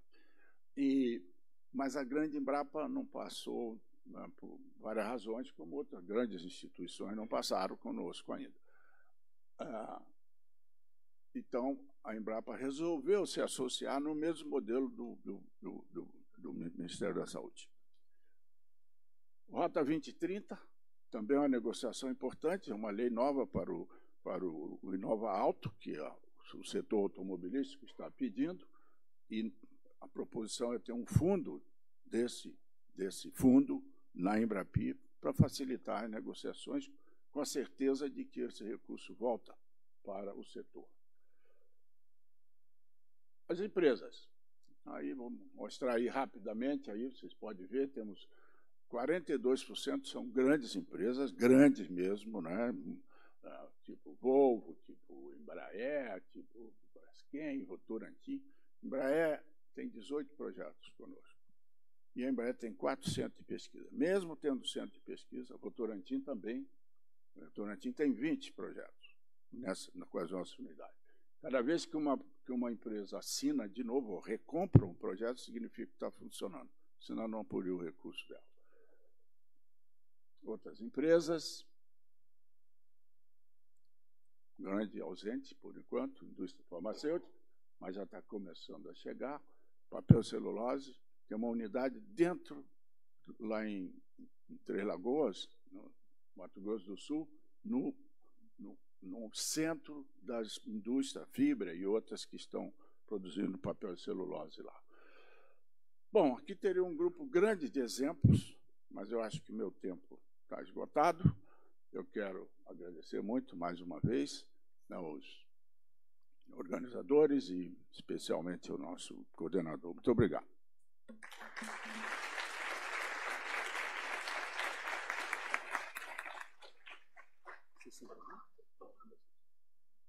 Queria convidar a nossa secretária Ana, professor Viviane. Agradecer mais uma vez a participação dos três palestrantes e convido agora é, audiência para, para perguntas. Peço que, por favor, sejam objetivos. Lembre-se que os palestrantes estão aqui, né? Tem que ser uma perguntazinha rápida e, e objetiva. Muito obrigado. Anunciem, por favor, o nome e a filiação. É, Edson Watanabe, da COP, UFRJ. Eu vou tentar ser rápido, mas a gente ouviu tanta coisa aqui que tem que comentar alguma. Primeiro, só, professor Nível, reforçar o convite para visitar a COP e dizer eu não vou fazer aquele exame lá do Alzheimer, não. Pra, não, não vou. O segundo comentário, o professor Jorge Guimarães falou do 2% do PIB, a gente está sempre falando disso, mas outro dia eu descobri com tristeza que o setor judiciário brasileiro já está chegando a 1,9% e o de pesquisa não chega. Na França, Estados Unidos, o judiciário está com 0,3%. O judiciário essas... brasileiro está perto de 3%. Ué. Perto de 3%. É, a última vez que eu vi estava 1,9%. Bom. É rápido. Um, um, outro comentário que me deixa muito triste também, o Jorge Guimarães falou do, da posição 69 na inovação, mas o que é mais triste para mim é ser sétimo na América Latina e Caribe. Tem Uruguai na frente, tem Panamá na frente, Costa Rica, México, Chile, Colômbia. Não dá para entender isso. A gente precisa fazer realmente alguma coisa. Não sei se tem algum argentino aqui, mas por, por sorte nós estamos na frente da Argentina. O, o, o que eu tenho sentido é uma coisa que eu acho que foi muito importante no, lá em 90 e pouco, foi quando, basicamente, o Jorge Guimarães, no CNPq, criou o PIBIC. Aquilo foi uma revolução que fez com que muitos dos graduandos chegassem ao final querendo fazer mestrado, doutorado, e lá por volta de 2000 nós fizemos uma, um levantamento de dados lá na UFRJ, a gente viu que o mestrando sem PIBIC tinha em média 32 anos. Com PIBIC caía para 27. O doutorado estava caindo de 42 para 32. Isso foi um avanço enorme. Só que esse cara que a gente forma na pós-graduação, voltando ao que o Prata falou, ele faz muito bem a roda. Mas ele não conversa com quem precisa da roda, ele não conversa com quem faz o motor. Tá? Ele não faz o carro. Eu estou convencido que a gente precisa criar eu estou propondo lá na COP, a gente está discutindo muito para ver se cria logo um programa de iniciação à inovação. Esse cara tem que aprender a falar com um colega de outras áreas, tem que aprender a fazer coisas. Pode ser até que faça a pós-graduação. Eu estou querendo apoio para ver se a gente implementa sem acabar com o outro. O outro está excelente, mas a gente precisa criar um que é o do cara que vai fazer as coisas que inovação, a definição que eu tenho usado para inovação não é patente, não é paper, não é nada disso. É qualquer dessas coisas, desde que funcione e o mercado aprove. Isso é complicadíssimo. E tem feito com que muita gente, naquela escala do TRL, chegue até o 4, que é mais ou menos onde dá para chegar no doutorado, e depois relaxa. E nós não temos ninguém pensando na formação daquele pessoal mais à frente, que eu gostaria que entrasse na empresa, ele vai sentir falta da, do, do PID, vai, vai mudar. Porque o pessoal que já está lá, que a gente fica reclamando que eles não querem fazer pesquisa, eu acho que só vai resolver se a gente trocar esse pessoal com gente com, pensando diferente. Mas esse aí é só para ver essa, se vale a pena criar. Eu acho que vai. Tem um outro problema que é crítico no Brasil, que é o problema da segurança e da confiança a gente pega leis, contratos, etc., e lê e não sabe o que, que o pessoal do jurídico vai interpretar daquilo. Isso dá uma insegurança do diabo. Tá? E aí, aproveitar que estamos uma professora de Portugal, dizer, eu acho que a gente avacalha muito o português. Usa mal o português quando escreve leis e depois não sabe o que, que significa. Há uns dois meses atrás, o Fernando Peregrino perguntou lá no CGU se as verbas da NP para pesquisa e desenvolvimento eram públicas ou privadas. Pediram tempo. Depois a gente recebeu um pedido para que a gente mandasse uma, uma solicitação formal para saber se é público ou privado. Só que já estão fazendo isso há mais de 10 anos e as leis são diferentes, se for um ou outro, e eles vão fazer uma reunião agora para ver se é um ou outro, porque a lei está mal escrita e eu acho que a gente avacalha muito. Aí, só para contar uma historinha que aconteceu o professor Richard está aqui, tá? vou, vou, encurtar, mas é só para rir um pouquinho. É, o professor Richard está ali, ele esteve em Portugal, pegou um ônibus e falou com o motorista: quando chegar na esquina tal, o senhor me avisa que eu vou saltar. E o motorista falou: não, não, o senhor não faça isso. Quando eu chegar lá, eu vou parar, o senhor desce. E a gente faz muito disso, de usar mal as palavras, e depois é um prato cheio para os advogados. Daí está os 3%. Obrigado. Obrigado, professor Atanabe. É, vamos fazer um conjunto de perguntas. Por favor. É, vou falar uma coisa que todo mundo. Nome, instituição. Ah, meu nome é Edmundo, é COP, UFRJ, e é, falar pouco, mas é, é, ainda um dos, eu acho, um dos principais problemas que nós temos ainda para a inovação, dentre os vários, é isso ainda ser tabu dentro da universidade.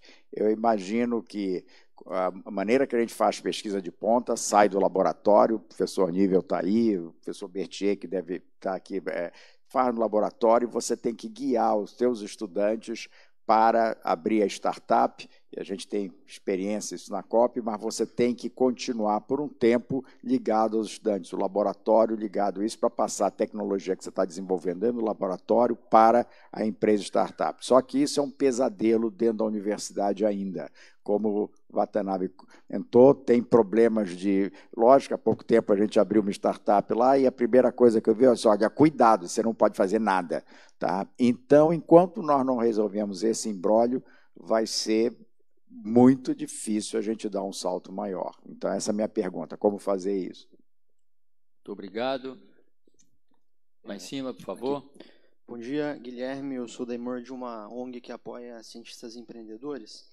E a gente tem trabalhado com recém-mestres, recém-doutores e jovens pós-docs, como a Tainara, que tem Chemistry, que, utiliza, que tem uma solução para retirar metais pesados de alimentos, ou o Luiz Fernando, que estava exposto aqui no museu, que tem a Hermes Brain Deck, uma interface para se comunicar com pacientes em coma e estado vegetativo, entre outros. E a gente tem visto com esses jovens cientistas empreendedores alguns desafios. Um é por ser jovens, a gente não tem, eles não têm quase nenhuma ou pouca experiência de mercado.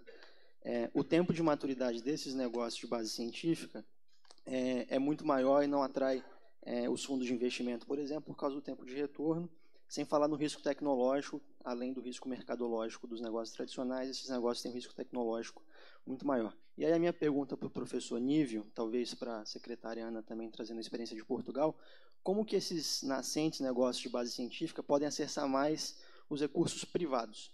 Os públicos têm a Embrapi com o Sebrae, é, os próprios incentivos governamentais, mas como que esses negócios com jovens com tempo de maturidade maior e maior risco tecnológico também podem acessar, qual seria uma estratégia para acessar recursos privados? Obrigado. Muito obrigado. Eu vou pedir que os nossos três palestrantes possam rapidamente comentar. A nossa secretária é, Ana, inicialmente, depois o professor Ziviane, o professor Jorge Guimarães. É, eu vou. Está? Eu vou responder à, à questão que me foi colocada, uh, que tem a ver com esta questão do acesso a recursos privados. Eu acredito que se o projeto tiver mérito e o empreendedor o souber explicar, que já são dois requisitos importantes, uh, haverá dinheiro privado para os financiar em qualquer parte do mundo. Obviamente que o mundo é competitivo, não é? Por isso também há um conjunto de fundos, como por exemplo um fundo com investimento público ou privado, como o que eu referi, que estamos a finalizar o lançamento em Portugal, pode ser instrumental para este tipo de negócios. Porque por cada uh, real, neste caso o euro, porque funciona em Portugal, que um, enfim, um investidor privado uh, apoiar, apoia também o fundo público com o mesmo valor. E, portanto, essa é uma das questões. Mas, enfim, há outras condições de contexto que podem ser ativadas. Mas, fundamentalmente, o acesso a dinheiro privado faz-se através de mérito e de escrutínio muito hum, rigoroso. E, portanto, é, também é preciso, e, e, nós temos um conjunto também de iniciativas de capacitação de empreendedores, de saber também apresentar o seu projeto, porque às vezes o projeto pode ter qualidade e o empreendedor não sabe apresentar sinteticamente, perde sem pormenores, depois o investidor, enfim, fica dissuadido de investir. É também fundamental, eh, e acho que aí também as universidades e outras entidades têm um papel importante em reconhecer que é preciso eh, apoiar a formação de competências nesta área. Mas eu, eu diria que, eh, em termos de acesso a, a verbas privadas, os fundos de co-investimento podem ser instrumentais, outros fundos disponíveis, e hum, e também iniciativas de matchmaking e de convidar também uh, fundos de capital de risco internacionais para fazer determinadas sessões. Enfim, como por exemplo nós temos o evento da Web Summit com o Venture Summit, em que aí uh, estão disponíveis e perto do, dos promotores de projetos um conjunto também de entidades uh, facilitando o, o, acesso, porque às vezes é difícil marcar reuniões, portanto tudo o que podemos fazer para trazer esses atores. Também outro assunto, outra área que estamos a trabalhar que eu não falei, é da vinda uh, de grandes redes internacionais de apoio à, à inovação, é, mas sobretudo é mais de apoio ao empreendedorismo. Há a questão do financiamento, redes de investidores, como por exemplo a Endeavor, que é uma rede que está presente em todo o mundo e que tem por todo o mundo espalhados um vasto conjunto de, de investidores e hum, cada país pode também tentar ter um, uma delegação dessa rede, o que é muito, muito interessante. Os fundos de co-investimento também ajudam a, a, que investidores internacionais olhem para os projetos no, no, país onde esses fundos existem, assim como a lógica de fundo de fundos, e aliás aqui no Brasil o BNDES faz isso tem fundos que co-investem com investidores internacionais e esse tipo também de, eh, de instrumentos são absolutamente fundamentais. Muito obrigada. Muito bem, são várias perguntas e, obviamente, eu não vou ter o tempo que eu gostaria de ter para responder. Primeiro, é, gerar tecnologia de ponta tem que ter pesquisa de ponta por trás associada. Então, você tem que interagir intimamente com um grupo de ponta, como é o caso do Departamento de Ciência da Computação da UFMG. É, existe, dia 7 de setembro, de, de 7 de fevereiro próximo passado, o presidente Temer assinou o decreto, marco legal de ciência, tecnologia e inovação, que dá uma segurança jurídica para uma série de coisas. Por exemplo, a UFMG é sócia da CUNUM tem ações da CUNUM. Essa peça jurídica é de 2011. Várias das coisas que estão no marco legal a gente já vinha fazendo há muito tempo, que é na forma de usufruto de ações. Ela tem os mesmos direitos que qualquer acionista, mas não tem direito a voto pelas ações. Então, corta o cordão umbilical. Qualquer coisa que se faça, a gente só comunica ao FMG. Foi diluída de tanto que entrou investidor e assim por diante. É o modelo bem MIT, que pega 5%. Tem um conhecimento, professor cria uma startup, a universidade ficou 5% na forma de usufruto. Isso, várias das coisas que estão no marco legal, a gente chegou a, a influenciar, a gente conseguiu criar, por exemplo, o pesquisador empreendedor. O pesquisador que gera um conhecimento, ele pode prosseguir na geração da riqueza e caminhando pra, com a startup. Os procuradores jurídicos sempre contra essas coisas. Foi uma luta em 2011 para fazer isso passar. Mas hoje existe a segurança jurídica. Você pode, por exemplo, criar laboratório dentro da universidade. A CUNUM tem um laboratório de inteligência artificial lá dentro da UFMG. A CUNUM tem graduandos, mestrandos e doutorandos, que é a forma de manter essa ponte. O que é feito na academia é sempre que possível, a mesma coisa na indústria, no caso da Kunumi. É, a gente chegou até a conseguir passar na CAPES, ainda talvez no tempo, na época do Jorge, e no, no CNPq, bolsista CAPES CNPq, que vai para a indústria, mas vai fazer na indústria a mesma coisa, deveria manter a bolsa. Isso chegou a vigir por alguns poucos meses, mas aí vem aqueles tiros de cartucheira de Brasília que mata tudo, certo? Detona tudo e isso acabou saindo. Enfim, é um tema que a gente poderia ficar muito tempo, eu não quero monopolizar, e é um tema. Existe um, uma entrevista publicada no Caderno de Economia do Estadão, de domingo atrasado, dia 29 de abril, em que a gente trata disso, explicitando os artigos 4, 6, 37 do novo Marco Civil, que são importantes para dar segurança jurídica para reitores, pró-reitores, de saírem fazendo as coisas. A gente fazia no peito lá na UFMG, certo? Mas agora está mais seguro juridicamente.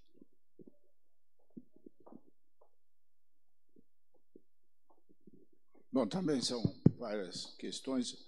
Eu, eu acho que a questão do jurídica, né? Acho que isso afeta muito a pergunta do Edmundo e também do Watanabe. Ontem nós tivemos aqui uma sessão em que foi, foi dado um bom destaque à questão jurídica no Brasil. Né? Veio uma pessoa muito qualificada e fez uma bela apresentação. Mas veja só, ah, foram feitas perguntas embaraçosas, porque vocês estão sempre atrás da tecnologia, nós vamos avançar para o carro sem, sem motorista e a jurídica atrás. Mas, basicamente, é o seguinte: o país que tem mais advogado do que engenheiro, meus amigos, tem um horizonte sombrio. Estou pondo engenheiro, mas vale para físico, vale para os químicos, né, os matemáticos. Né? Eu acho que esse é um problema muito difícil. Então, a gente vai torcer. Esse exemplo que o Nível está dando da UFMG é um exemplo que a gente gostaria nas outras universidades. Mas nós temos unidades em universidade que o procurador senta em cima do projeto com a empresa. Quatro meses, cinco meses, a empresa diz, epá, inovação que vai ser dessa velocidade não, não interessa mais. Entende? Então, esse é, é, um, é um problema. Nós temos algumas bem para frente, como, por exemplo, Santa Catarina, mas o que, que fizeram? Levaram o reitor ao suicídio. Tá? Por intervenção dos, dos procuradores, certo? É isso aí. Né? Temos outra muito boa lá em Campina Grande. O reitor lá é uma pessoa bem baixinha e diz aqui quem manda sou eu. E, portanto, essa unidade. Vocês acham que tem cliente para a área de TI numa unidade lá em Campina Grande? Conceito 7 na CAPES? Aliás, isso que o livro falou foi muito importante a maioria das nossas unidades são excelentes em pesquisas. Vários são conceitos 6 e 7 da CAPES, várias. Sobretudo as que estão em universidade, mas também tem privados, como o Inatel, por exemplo, né? e, e que tem curso de pós-graduação de excelente nível. Pois bem, então, a, a, essa, essa, essa questão que ele trouxe, infelizmente, mesmo com o marco legal, hein?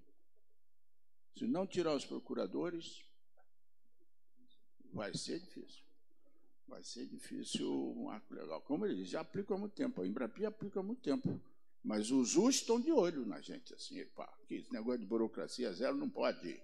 Tem que ser burocracia máxima. Bom, então, é, é, um problema que a gente tem que resolver aí pela frente. Então, nós vamos ter o PI, né? O PII, é o Programa de Iniciação na Indústria. Veja só, a academia criou um grupo para responder ao pedido da CAPES para mudanças na avaliação. Esse grupo foi presidido pela Débora, fizeram, fizemos parte o João, eu, Sandoval, Prata, não, não Prata não estava, Sandoval, Bevilacqua e o Adalberto, Adalberto Vieira. Escrevemos algo nessa linha aí. Então agora é cobrar da CAPES porque foi mostrado por A mais B que a área de inovação, de um modo geral, é, é avaliada por caminhos tortuosos, na CAPES, há muito tempo, são, né, e que nós gostaríamos de que isso fosse mudado. O documento é disponível, Débora, está tá disponível na página da CAPES, né, da, do, da, da, da, academia. Pois bem, então é possível sair o, o PI por aí. Bom, a questão das startups, os riscos, etc. Né? Ah, como eu disse, ah, no caso da, do modelo de startup na Embrapi, o jovem está protegido porque ele está dentro da unidade como um todo, com um projeto que tem interesse na indústria. E devo dizer mais. Quais, quais são os ganhos para o modelo da Embrapi? Geração de emprego de alto nível. Impostos. Nós fizemos um cálculo, dinheirinho que a Embrapi põe os projetos terminados, em um ano, é todo reposto em imposto. Ou seja, é uma coisa que simples de, de se fazer.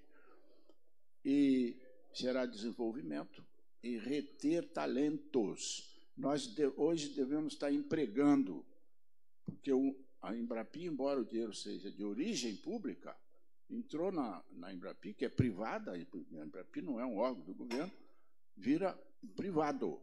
E ele é passado como tal. É o único dinheiro de origem pública que contrata com carteira assinada. E estamos contratando muitos jovens, sobretudo pós-doc, nas unidades, nos projetos com as empresas.